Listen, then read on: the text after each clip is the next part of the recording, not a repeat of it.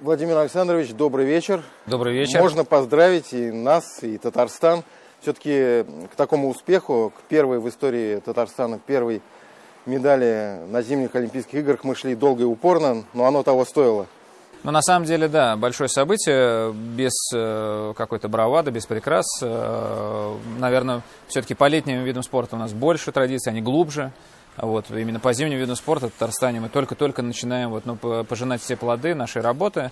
Как раз вот мы находимся на нашем таком историческом льду, дворец спорта, где, в общем-то, все и зарождалось, и не только там фигурное катание, но и хоккей, в общем, те Э, форматы, которые сегодня есть. Мы сегодня, вы знаете, в стране являемся лидерами по количеству именно ледовых арен. Вот буквально в прошлом сезоне мы открыли 41-ю уже арену в Татарстане.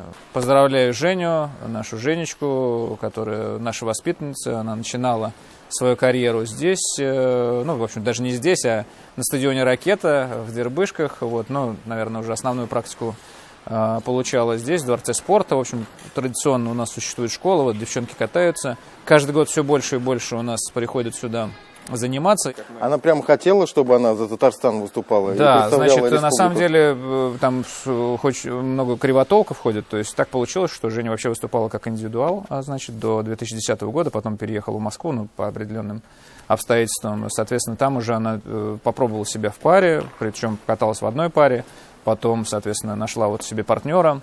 Естественно, это наш э, человек, родившийся здесь, выросший здесь, э, значит, здесь, который получил некие азы и правила, переходя на другой этап, естественно, он там уже попадает в состав сборной России, он там практически не бывает э, на территории там, того места, где он проживает, он все время на сборах, есть главный тренер команды.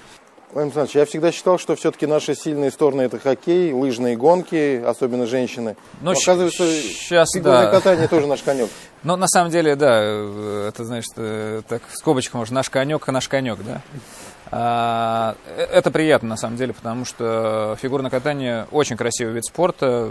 Вот, э, скажу вам по секрету, я сам занимался вот здесь несколько правда, не, не лет даже, а там какой-то период времени, совсем юным, именно фигурным катанием. Да, я там раз, разбираюсь, да, я разбираюсь э, во всех этих э, аббревиатурах, э, значит, словах, прыжках. Да, да. А вот ездил пистолетик, прыгал, прыгал тулуп, ну, на каком-то раннем этапе. Брат у меня достиг определенных там даже высот по юношам. Ну, то есть для меня это, в общем-то, не, не чуждый совсем вид спорта. Вот, и поэтому, в общем, традиции, на самом деле, в фигурном катании в Татарстане не существует. А, вот. Понятно, что с развитием там, игровых видов спорта, и хоккея в частности, конечно, он более стал тиражируемым, наверное, в э, стороны там, республики. В хоккей сегодня играют, там, вы знаете, круглосуточно, там и ночная хоккейная лига, и женская хоккейная лига, и в ВХЛ, и МХЛ, и КХЛ. А вот. Но фигурное катание – это исконно, на мой взгляд, э, традиционный вид спорта для страны. Мы всегда там были одними из лидеров э, на протяжении достаточно долгого времени, как и в танцах, так и в э, парах, так и в индивидуальном катании.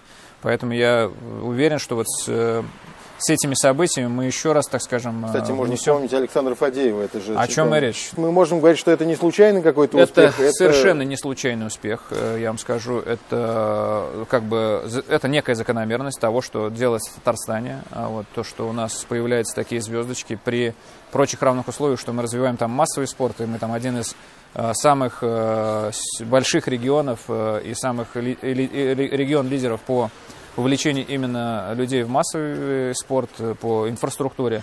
Вот, в любом случае, когда мы говорим об спорте высших и достижений, есть вот такие у нас результаты.